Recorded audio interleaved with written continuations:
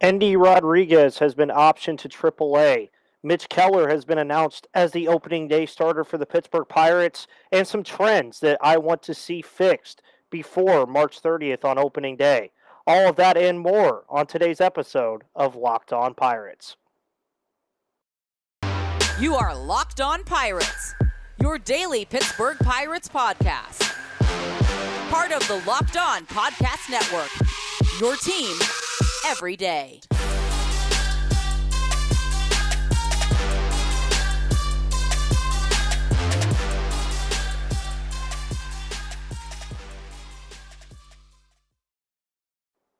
And welcome back to that Pittsburgh Pirates podcast, everybody. My name is Ethan Smith, your host of the Locked On Pirates podcast here on the Locked On Podcast Network, where it's your team, your Pittsburgh Pirates every day. Hope you guys are all having a phenomenal Wednesday, March 15th. I am as well. Uh, we obviously just wrapped up watching the Toronto Blue Jays and the Pittsburgh Pirates today in another spring training game.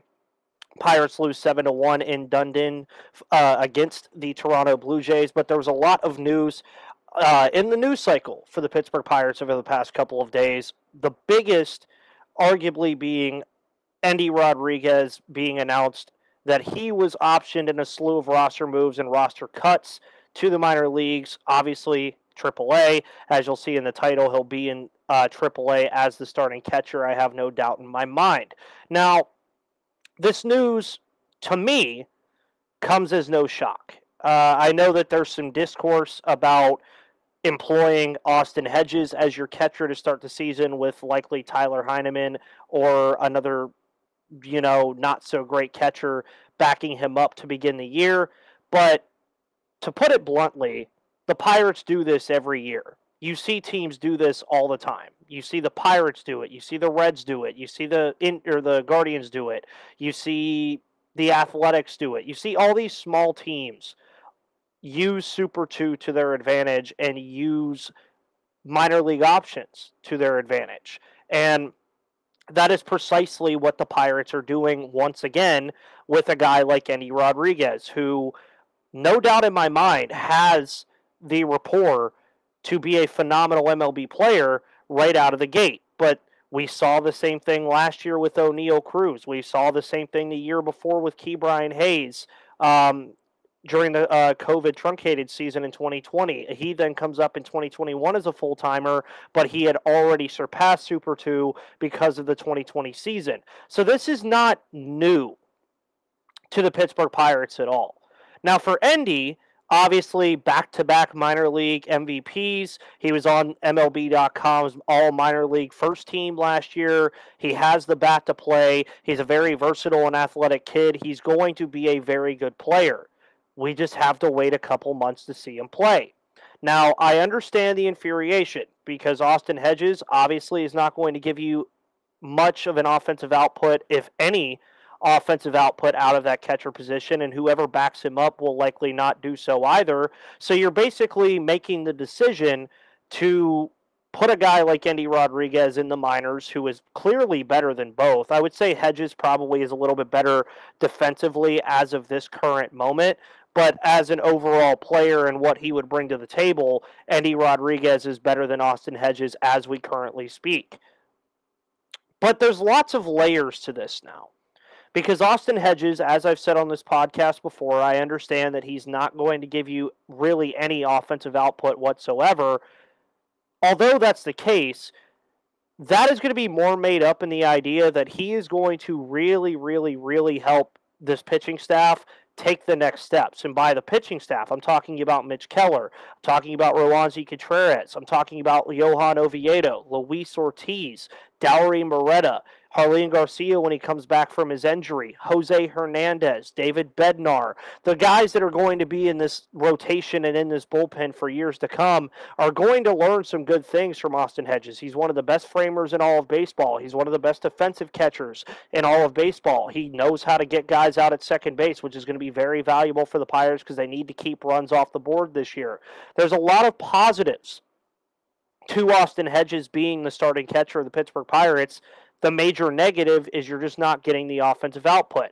Now, for Endy Rodriguez, what does the timetable look like? Well, I don't know if we've gotten an update on the dates for Super 2 and getting that extra year of service time. They are two different dates. Let's keep that in mind. One is for money, one is for that extra year of service time. So that's really where this whole service time manipulation tactic that the Pirates absolutely love to use comes into play. Once those dates are learned out, that timetable for Endy will become more clear. Now, obviously, we saw it with Oneil Cruz last year. It took a couple of months for him to get up here. You saw the useless excuses that the team made that he needed to work on certain things and other things weren't working out for him yet. And, uh, you know, stuff to basically save face and say this is why he's in AAA because he's working on things to become a better baseball player. Oneil Cruz comes up, does phenomenal, has issues with strikeouts and walks, but outside of that, breaking StatCast records, doing great things at the shortstop position defensively after he was learning that he didn't have to fire the ball 110 miles per hour over there every single time that he threw it. And the rest is history. Oneil Cruz heads into 2023 as a potential breakout candidate in all of Major League Baseball, not in just the Pittsburgh Pirates organization. Endy is probably going to be the same case. He's going to go to AAA Indianapolis. He's going to help the pitchers there as well. They're going to be there. That I also think you're going to see a slew of moves where Endy Rodriguez is a part of something where he comes up and then maybe like a Luis Ortiz or a Johan Oviedo follow if they're not in the rotation to begin the year because they've been working with him all season. So you can keep that chemistry going between a pitcher and catcher, which is going to be very huge when they're getting inserted into the major league roster in the middle of the season. I would say late May, early June, and July is the, the big months that you want to look for in terms of when Endy Rodriguez is going to make his debut. Now, when his debut eventually comes, I don't think that means the end for a guy like Austin Hedges. I think he'll back up Endy Rodriguez. You could even see a catcher platoon to kind of ease Endy into the workings of an MLB season. There's a lot of different things that go on there. But then you move on to the layers of this. Austin Hedges is going to start as your major league catcher. Endy Rodriguez is going to be your AAA catcher. So where does that put Henry Davis? Well, Henry Davis, obviously number one overall pick a few years ago, is going to probably start in Double A Altoona because it wouldn't make much sense to have Henry Davis and Endy split time in Triple A when you want to get the most at bats and the most experience for both of them at the individual minor league level. So you're going to probably see Henry Davis start in Double A, which likely means you're probably not going to see Henry Davis at all in 2023 on this team. I think the best opportunity that you get with that is September call ups and the final weeks of the season. That's about it. I don't think you're going to see a lot of Henry Davis this year for the Pittsburgh Pirates, like some people were theorizing that we might get both Endy Rodriguez and Henry Davis. I'm not ruling it out. Weirder things have happened, but I think with this decision to start Endy in AAA, which we all knew was coming, this should not come as a surprise to you whatsoever that Henry Davis is likely a 2024 guy now. And I have no big issues with that. I think Henry has a lot of things to work on. I think he needs to stay healthy. He needs to stay healthy through an entire year. He needs to improve defensively, which he's very good defensively already, but I feel like he has some things he can improve on. And he hasn't exactly lit up the minors yet since he began here in Pittsburgh. There's not a lot that Henry has really done that is just flashed off the page. Right now, he's a number one overall pick that the Pirates are easing into the uh, into the process, and Endy Rodriguez just made it a hundred times easier because now he can work in the minors with absolutely no pressure. He doesn't have to worry about coming up here and being the catcher right away. He doesn't have to worry about those things. And honestly, with Endy Rodriguez, he doesn't really have to worry about those things either because Austin Hedges is going to cement himself as the catcher for this team, albeit again that the offense won't be there. Defensively, he is going to make it up. That is what I could say about Austin Hedges is a defensive minded catcher. His defense is going to make up for his lack of offense. So when Endy comes up, he's going to learn from Austin Hedges. There's things he's going to learn from him. So I saw a lot of people panicking, and I understand. I'll give this sentiment to you too. I want the best players in the system on the roster to be on the MLB roster. Most people want that. But baseball is a game that, especially for the Pirates, is a very financial game to play. And you have to be careful with those finances because you look at the Pirates players that they're going to be in extension talks with after Bryan Reynolds. You're talking about Mitch Keller. You're talking about Roansy, Oneil Cruz, eventually Rodolfo Castro, possibly, Liover Peguero, Nick Gonzalez. You're also talking about a guy like Jack Suwinski. Um, they already have Hayes locked up. There's a lot of money that's going to be getting involved with this Pirates team over the next couple of years. Is it really all that important way down the line for Endy Rodriguez? No but this is just how the Pittsburgh Pirates operate. This is how Ben Cherington operates, and this is how they're going to continue to operate because they have no reason not to, because baseball does not stop them from doing it. So I understand that everybody might be upset about it. I get it. I'm a little upset about it too, but it's also not something that comes as a shock to me that Endy Rodriguez will be starting in Indianapolis to begin 2023 and will likely be there for a couple months. And Henry Davis, likely not seeing him this year, and I'm completely okay with that. Before we talk about Mitch Keller being announced as the opening day starter for the Pittsburgh Pirates, I want to let you guys know about the wonderful people over at FanDuel Sportsbook. Of course, you can make every moment more at fanduel.com slash locked on. March Madness is here. The Pitt Panthers won their first March Madness game since 2014 last night. So if you want to bet on the Panthers to beat Iowa State on Thursday, you should do it at FanDuel Sportsbook. And also, the NBA season is on its way to the playoffs pretty soon, and now is the perfect time to download FanDuel, America's number one sportsbook, because new customers get a no sweat first bet up to $1,000. That's bonus bets back if your first bet doesn't win. Just download the FanDuel Sportsbook app. It's safe, secure, and super easy to use. Plus, FanDuel has a lot of bets ranging from anything from the money line to point score to the spread, totals, rebounds, player points, and props, and more exclusive bets all at FanDuel Sportsbook.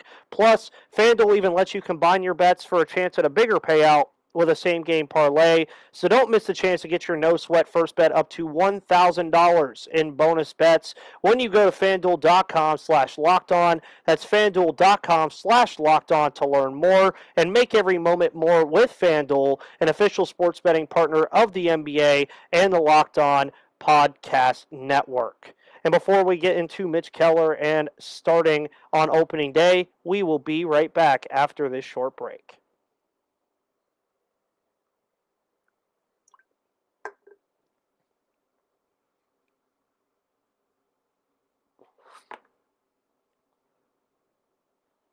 Alrighty, everybody, and welcome back to the Locked On Pirates podcast once again. I am your host, Ethan Smith, host of the Locked On Pirates podcast, where it's your team, your Pittsburgh Pirates, every day.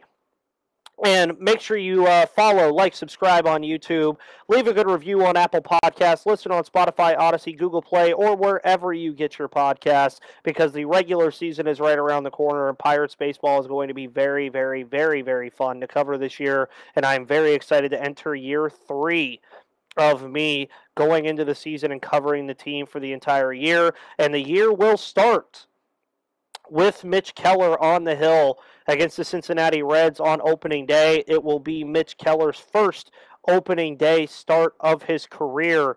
And when you look at the career arc of a guy like Mitch Keller, it, it, it hasn't been all sunshine and rainbows to uh, be in the St. Patrick's Day spirit with the leprechauns and all that good stuff. But Mitch Keller getting this nod. Obviously, we all saw the emotional video with Derek Shelton asking him about Kevin Plawecki and what they were doing and how many sessions he threw today and how many he was going to throw on March 30th. I just absolutely love that moment between Derek Shelton and Mitch Keller. But you look at a guy like Mitch Keller who starts his career as a top 10 prospect. He was highly touted in all of baseball. He was highly touted in the Pirates system. He comes up he struggles mightily. He's considered a bust. People want him out of Pittsburgh. He gets sent down to Indianapolis a couple of times. He struggles again. He can't seem to figure it out. Then last year comes around, and it finally felt like Mitch Keller got a sense of figuring it out as a Pittsburgh Pirate. And he had a phenomenal year last year in terms of what we've seen from him in past years. I mean, the ERA numbers went down, the home run numbers went down, the walks went down, everything went down for Mitch Keller last year that needed to go down. The things that went up, the strikeouts, other things like that. So far in spring training, 13 strikeouts over 11 innings. He has it going for him. You don't look at records anymore when you look at these starting pitchers, but 31 games last year, a 3.91 ERA with 159 innings pitched and a 138 strikeout total with a 1.4 whip. I mean, the guy's a career 5 ERA guy. It was very nice to see Mitch Keller finally get to this point. And I feel like we've seen Mitch Keller so much now where I mean he's started 70 games now in his major league career where we've just gotten accustomed to seeing Mitch Keller on this team and he's been here for quite some time. Shockingly enough, Mitch Keller is still only 26 years old. He still has so much time to grow in this league. He still has so much time to improve in this league. And last year, I think, were the steps that he needed to take to make those improvements and ultimately be a better pitcher at the major league level. And I think he succeeded in that in that area so far. He now has a running mate in Roansy Contreras, which is something he hasn't had since Jameson Taillon. So this opening day nod is a big deal. I mean, it really is because now it kind of sets up a roadmap of what you're going to expect from the Pittsburgh Pirates in terms of what the rotation is going to look like. It appears that Mitch Keller will be the number one option, followed by, I would assume, Roansy Contreras. And then I would say you're probably dipping into the Rich Hill or JT Brubaker bag. It depends on what uh, order they want to use them. And then that fifth spot. I mean, is it still Vince Velasquez? Is it Johan Oviedo? Is it Luis Ortiz? Is it somebody else that we're not really talking about that much, like a Caleb Smith? Is it a guy like that? So Keller being announced for opening day as the starter really opens up how this starting pitching staff is going to look for most of this year. And I enjoy that Mitch Keller was finally able to get this moment because, as I mentioned, his career arc has not been pretty. His ERA numbers, not pretty. His whip numbers, not that pretty. I mean, you look at the season he had last year 31 games, he's had 70. So he almost hit it in half. 159 innings to 329 and one thirds innings in his career. 138 strikeouts and 311 on his career. Mitch Keller had a, the best season of his career last year, and arguably the most full season of his career. You can make the argument that last year was the first time that we really got to look at Mitch Keller as a starting pitcher for a complete season at the age of 25 and for being here for so long. I mean, you're talking about a former second round pick who, again, was a, top, a highly touted prospect. He had an okay season in the in the COVID season. But since 2019, when he debuted, I mean, he's had his ups and downs. But it finally appears that he's on the up. He's got better command on his fastball his secondary pitches look better. And one of the things that I said last year about Mitch Keller that a lot of people agreed with me on that I kept as a consistent take for the entire season last year was that he just looked more composed. He didn't look so tense. He didn't look tight on the mound anymore. He actually looked like he was enjoying himself. He would get in high leverage situations and immediately get himself out of them. He would prevent runners in scoring position from scoring. He was doing things right last year that we've never really seen Mitch Keller do in that capacity and in that sample size. We've never really seen Mitch do these kind of things before. We just haven't. And it's really, really embracing for him to be the opening day starter. Now, obviously, if we're talking about who he's going to face on opening day, I would assume it's probably Hunter Greene. And I think I give Keller the the up on whoever he's facing against Cincinnati on March 30th, and I expect him to have a phenomenal performance on March 30th. And I'm very excited for him, as everybody else should be. Now, before we get into the final part of today's episode, which will be some trends that I've noticed in spring training that I would like the Pirates to fix before opening day, we're going to take another short break.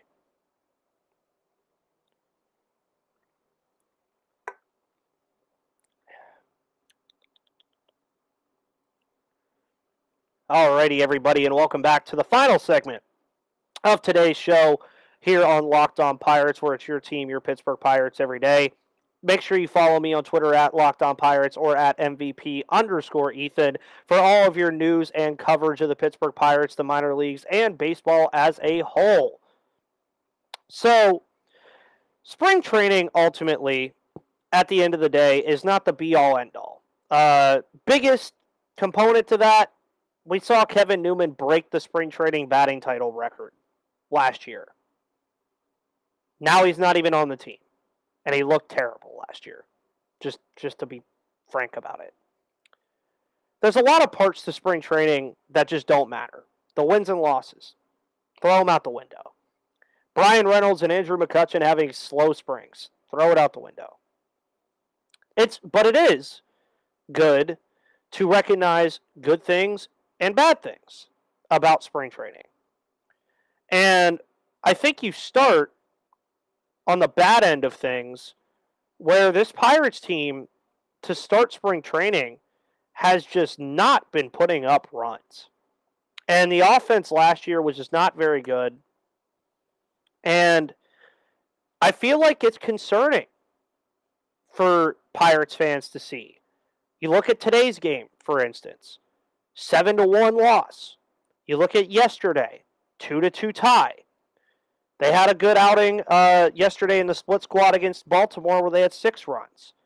But then you go past that again, eleven to three loss to the Braves. They only scored three runs in a win against the Yankees. Four runs in a loss against the Phillies. Seven against the Tigers in a loss they're just not really putting up runs. And it's concerning. It really is. I mean, you there's a lot of one run, two run, and three run games again with this team. And again, I, I don't think that it's that big of an issue. I do think that it is something that is worthy of conversation that the offense looks pretty slow right now. But let's also remind ourselves that it's spring training. They've only been on the field since the 25th of February. Where, if you want to make any argument about the offense being overall as a whole stagnant for the most part this spring, first three games of spring, they scored seven runs.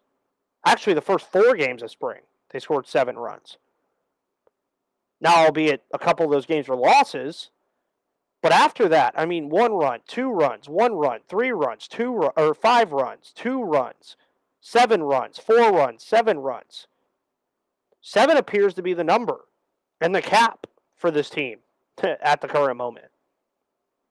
But hopefully the offense comes around by the time on opening day because I just don't think this team can afford to have another season where the offense is just not there. Partially because the Jarlin Garcia injury hurts that bullpen more than people think. And the bullpen right now, there, there's a lot of moving parts. And do we really know who's going to be there? How does David Bednar come out this year after the injury that sidelined him near the back end of 2022? Who's your left handed option outside of Jose Hernandez? Who's your Rule 5 pick that you were probably looking to stash? Does Colin Selby eventually come up? I mean, there's a lot of questions that are surrounding this team right now with only a couple of weeks before opening day. I mean, we're only about two and a half weeks away, I think. Two weeks, I think, actually tomorrow. So there's a lot on the minds of Pirates fans, including myself. You're talking about the offense, you're talking about the bullpen, talking about some of these young guys. Where does Travis Swaggerty fit into the mold? He's had a really good spring. And that's one thing I've noticed trend wise. Canaan Smith-Njigba, pretty good spring so far. Travis Swaggerty, pretty solid spring. There's been a lot of these guys that are involved in these primary positional battles that have actually had pretty solid outings in the spring so far. And eventually the Pirates are going to have to make decisions. And you saw that with Endy Rodriguez and that slew of guys that were sent down to the minor league camp.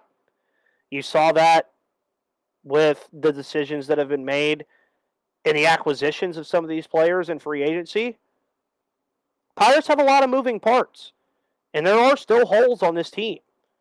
But there is the argument, though, obviously, that this team looks a lot better than it did in 2022. And yeah, the offense looks stagnant right now. Yeah, the bullpen's kind of struggling. The pitching's kind of off. But they still have two and a half weeks before opening day. And ultimately, we're not going to remember much from spring by the time the second week of the season starts. We're just not. And that's really all I have to say about it. There are certain trends that I see right now that I like, like Bryan Reynolds hitting some homers, Ke'Bryan Hayes hitting some homers. There are certain trends I don't like, like the offense overall just not being that great. But it'll work itself out the way it's supposed to, and the regular season's right around the corner. But ultimately, it won't matter in the grand scheme of things. Guys, thank you so much for tuning into the Locked On Pirates podcast today, sponsored by FanDuel Sportsbook. Make every moment more over at fanduel.com slash locked on. You guys are the best for always tuning into these shows. You're the best for leaving your comments, your likes, your subscriptions, your reviews, and all of your comments on Twitter as well are always phenomenal. Guys, thank you for tuning into the Locked On Pirates podcast today here on Wednesday, March 15th. On tomorrow's show, we'll have Craig on the show this week he I don't know if he's still at spring training or not, but I know we got him last week, so he will be on the show this week tomorrow for Craig Talk Thursdays, and then on Friday I'll be on with Paul Francis Sullivan over at Locked On MLB on St. Patrick's Day. So we're going to be talking about all the things about the Pittsburgh Pirates heading into the regular season, which again starts March 30th. So get your calendar set and ready to go because we're also going to be having some previews pretty soon. And the Locked On Reds folks will be on this podcast the week of opening day at some point to preview the opening day series. So all of that and more will be following a phenomenal coverage year for this Pittsburgh Pirates team. Guys, thank you so much. Have a wonderful rest of your Wednesday evening. Root on Pitt tomorrow as well. We're going to be talking about that a little bit with Craig as well, probably near the back end of the podcast. But thank you guys so much. Have a great evening. My name's Ethan Smith. I will see you on the flip side.